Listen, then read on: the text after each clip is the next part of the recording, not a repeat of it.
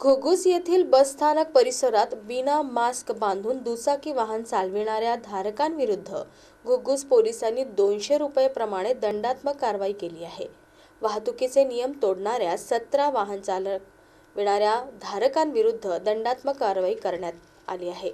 तर बारा विना मास्क बांधून दुचाकी वाहन चालविणाऱ्या विरुद्ध दंडात्मक कारवाई करण्यात आली आहे. घुग्गुस पोलिसांची कारवाई सुरू असतानाच घुग्गुस येथील एका खासगी डॉक्टरचे वडील विना मास्क बांधून दुचाकी चालवित असताना वाहतूक पोलिसांनी त्यांच्यावर दंडात्मक कारवाई केली. ही कारवाई पोलीस निरीक्षक राहुल गांगुर्डे यांच्या मार्गदर्शनात सहाय्यक पोलीस निरीक्षक वीरसेन चहांदे वाहतूक शाखेचे गजानन झाडे विलास डाखोरे सुधीर मत्ते अवधेश सिंह ठाकूर योगेश शार्दूल निलेश तुमसरे विनोद वनकर संजय शेगमवार यांनी केली आहे.